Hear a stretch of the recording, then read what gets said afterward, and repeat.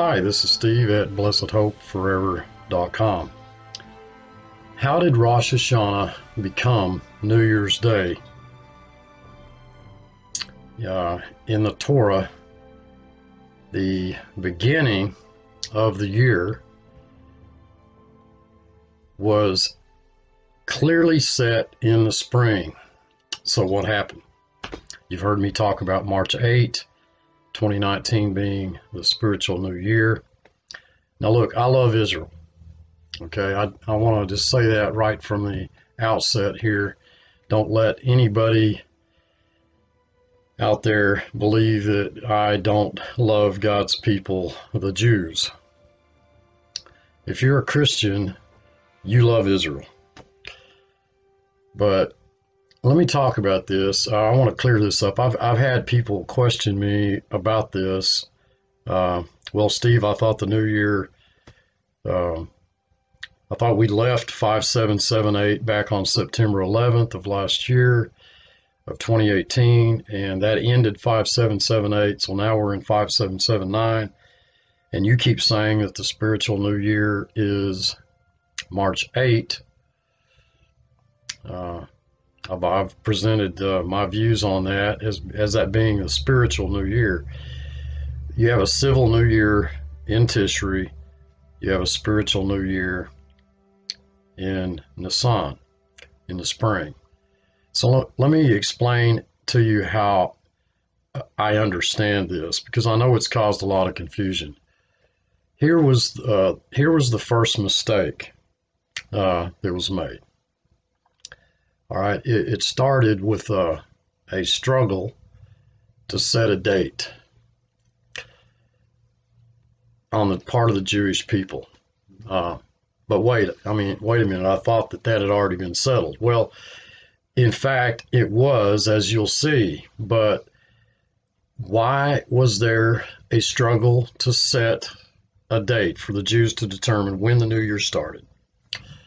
Well, the simple truth is that the Jews wanted a date that would include, well, not only the Jews, but by universal commitment, the entire human race. That's the truth. The, the global community as a whole. Now, this is not some idea of my own. Uh, this is fact. And, and two possibilities were considered for debate. The two possibilities were Nisan the month of Passover, and Tishri, the, the month known for Rosh Hashanah. They wanted to strike a balance. Short story is they they force fit something into place that biblically speaking it didn't belong. Now, this is not surprising to me since God set Israel aside in unbelief. But now they would argue that by introducing a second New Year, it made it better. Now, I would argue that by doing so, they made the, the real New Year that God gave uh, in Nisan less significant. That in essence, they polluted the stream. God dictated when the New Year should be. God told us. Okay. They added to what God delivered to Moses and Aaron in the Torah, the beginning of the year was clearly set at the first of Nisan. That's right. In the context of a description of the first Passover, the Lord said to Moses and Aaron in the land of Egypt, This month shall mark for you the beginning of the months.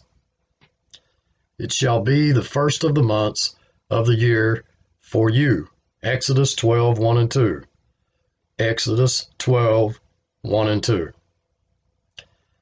This new year celebrated the creation of the Jewish nation through the redemption of the Israelites from Egypt.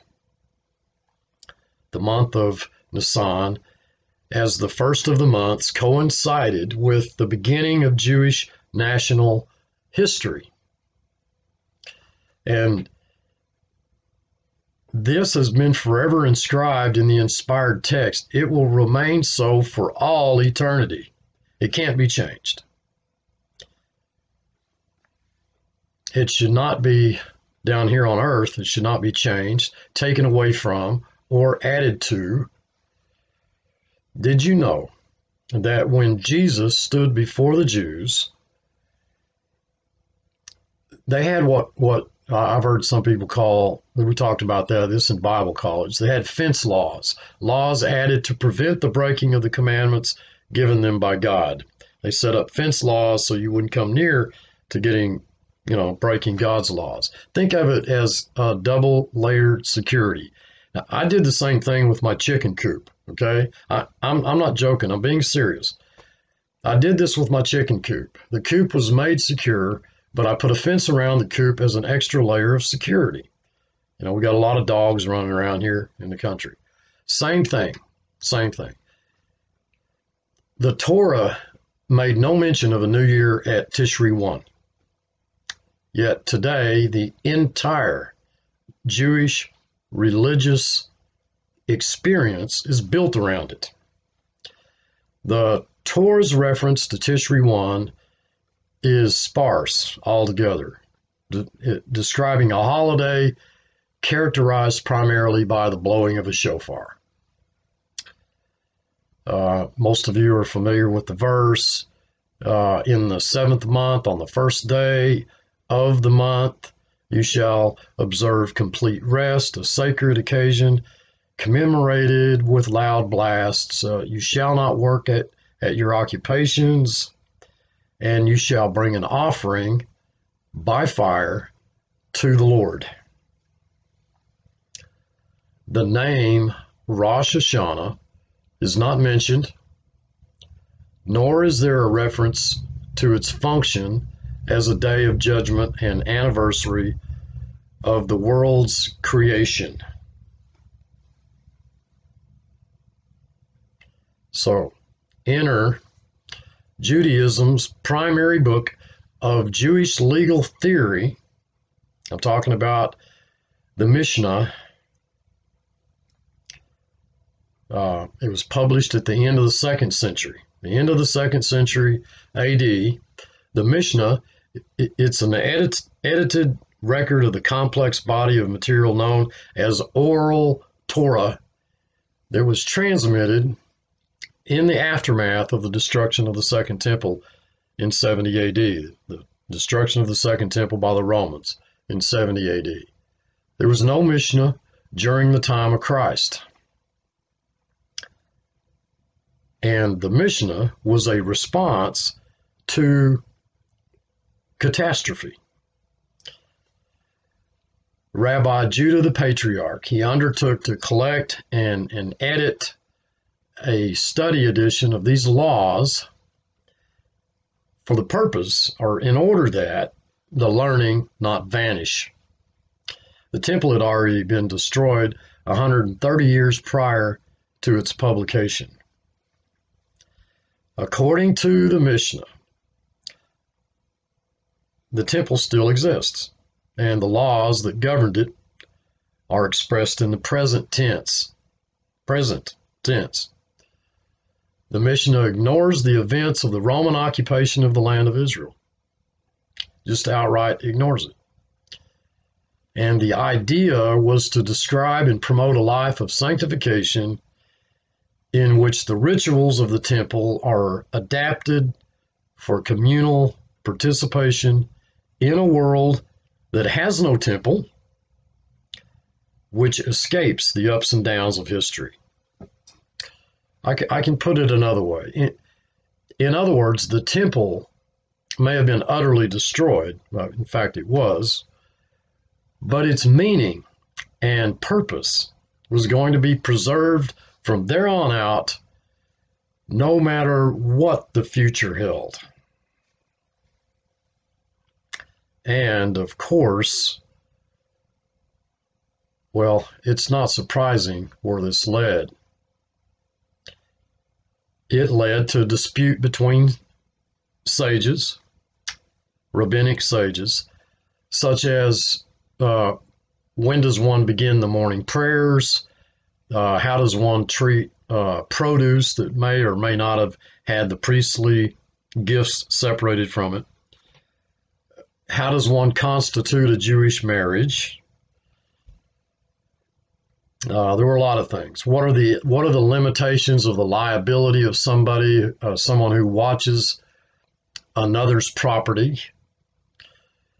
I mean, we're talking about a lot of stuff. Uh, can cheese and meat be on the same table? That that's you know, uh, how much water drawn, uh, drawn water invalidates a ritual bath, and the list goes on and on and on. Thousands, literally thousands of issues in fact, uh, on all of these issues and on thousands of similar issues, the Mishnah includes various opinions. Know, I'll remind you again of my chicken coop. The Mishnah specifically defines Rosh Hashanah's new year, quote unquote, status.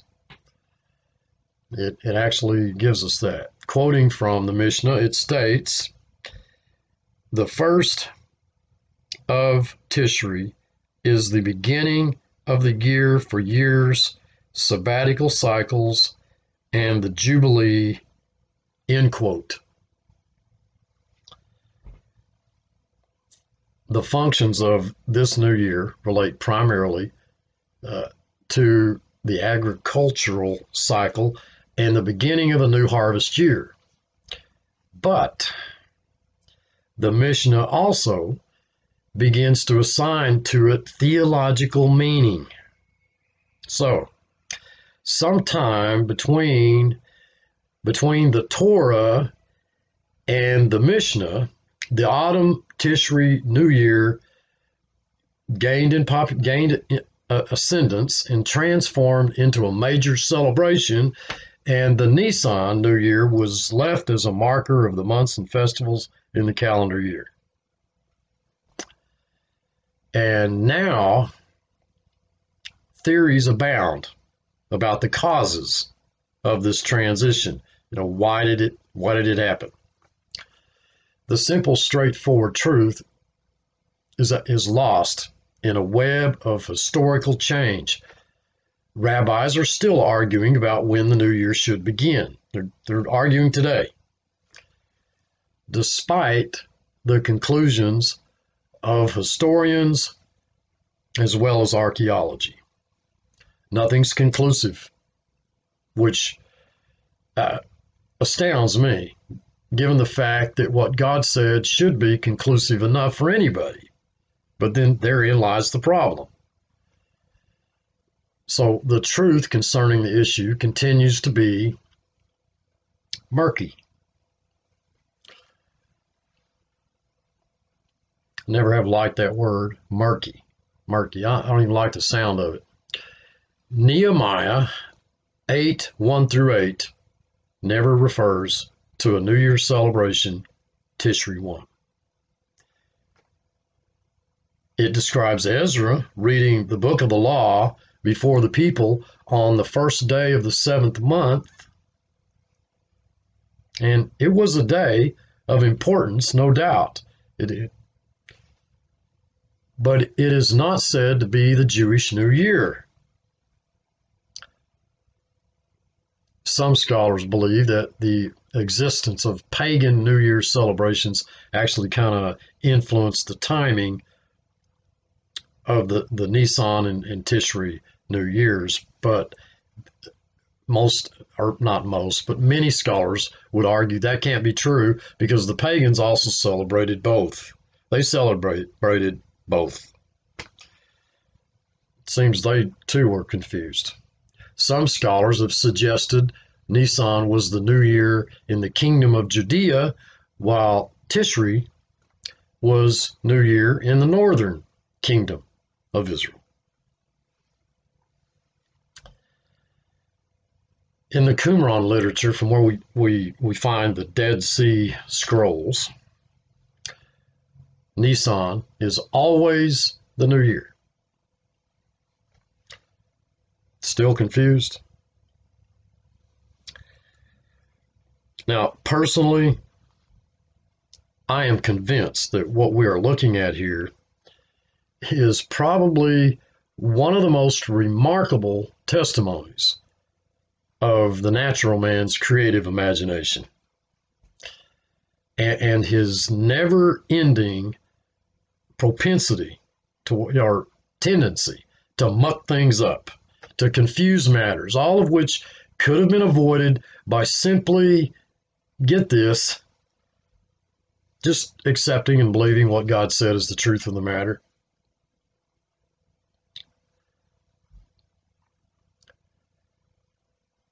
The plain truth is that the Jews have accepted the existence of a calendar with more than a single new year. God said one, they said, no, we got to have two. Whereas some saw na- national redemption, Jewish, Israeli, you know, from the Israeli standpoint, as the central or essential role of Jewish history, and held with the Torah that Nisan was the first month. While others, with a more universal idea in mind, supported Tishri as more important to all humanity. Did you get that? Within the universalist idea of Tishri, issues of sin and redemption were seen to be ap- applicable to all human beings. Therefore, Tishri was emphasized by attributing different roles to the new years of, of Nisan and Tishri. Jewish scholars believe, they believe, that they have helped integrate perspectives of world, nation, and individual within the Jewish religion. So, as I see it, by their own admission, the Jews have revealed the truth concerning how Rosh Hashanah became New Year's Day.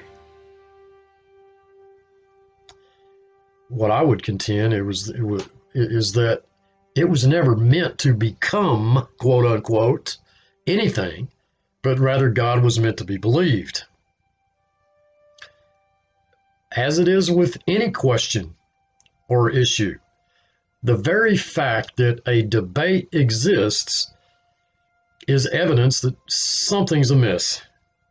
I mean, we when we're in agreement, there's harmony. When the truth is is simply accepted for what it is, and we don't doubt God, we don't call him a liar, we believe God, then there is no debate. There's no debate. I don't know what world that you live in, folks. But I live in a world that has taken the moral high ground against true spirituality, which it hates. I live in a world where a human merit based religious system that has has mixed Judaism with its Christianity as a way of life.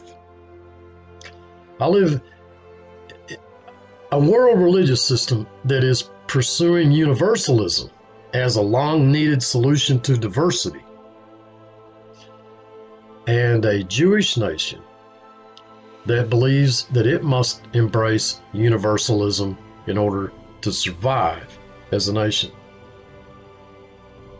And a planet, a world as a whole, that believes that globalism is the way of the future. So, I contend we presently remain within the Hebrew year 5778, which ends March 8. This is Steve. I love you all. I truly do, including you Jews.